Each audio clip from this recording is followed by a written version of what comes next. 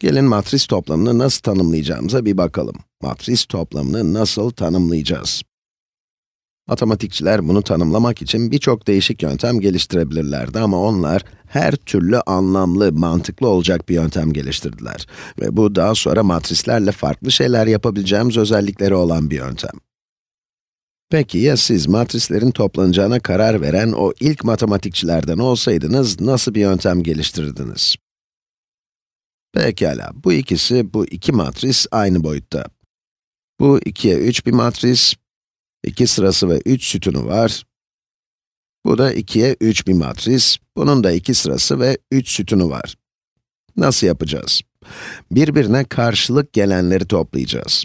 Yani matrisleri toplamak demek, matrislerin içinde aynı yerde olan sayıları toplamak demek. Söyleyince, söylerken karışık duyulsa da yapması kolay. Hemen başlayalım. 1 artı 5, 6. Eksi 7 artı 0, eksi 7, 5 artı 3, 8. Bunu farklı renkle yapalım. 0 artı 11, 11. 3 artı eksi 1 eşittir 2. Eksi 10 artı 7 de eksi 3 etti. Gördüğünüz gibi bunları hangi sırayla topladığımızın bir önemi yok. Diğer türlü de yapabilirdik. Hemen şunu kopyalayıp yapıştırayım. Diğerini de kopyalayıp buraya alalım. Ne dedik? Matrisleri hangi sırayla topladığınızın bir önemi yok. Sayıları toplarken önemi olmadığı gibi. a artı b ile b artı a aynıdır, değil mi? Ama ileride göreceğiz ki bu, yapacağımız her matris işlemi için geçerli olmayacak. Özellikle de çarpma işleminde. Ama burada yine yukarıdaki gibi denk gelenleri topladığımızda aynı sonucu elde edeceğiz. Gelin deneyelim. Burada yukarıda 1'e 5 ekledik ve 6 bulduk. Burada da 5'e 1 ekleyip 6 bulabiliriz. Aynı sonuca ulaştık çünkü 1 artı 5 ile 5 artı 1 aynı şeydir. İkisi aynı sonucu verir. Burada 0 ile negatif 7'yi topluyoruz. Negatif 7 buluyoruz. Yukarıda da negatif 7 bulmuştuk. Yani aşağıdaki sonuçların aynısını bulacağız. Buraya A matrisi diyelim. Genellikle büyük ve kalın harflerle yazılır. Böyle A yazalım. Buraya da B matrisi diyelim. Burası da A artı B oluyor. Burası B artı A oluyor. İkisi de aynı sonucu veriyor. Peki şimdi size ilginç bir soru soracağım. Matrisleri birbirinden çıkaracak olsaydık ne yapardık?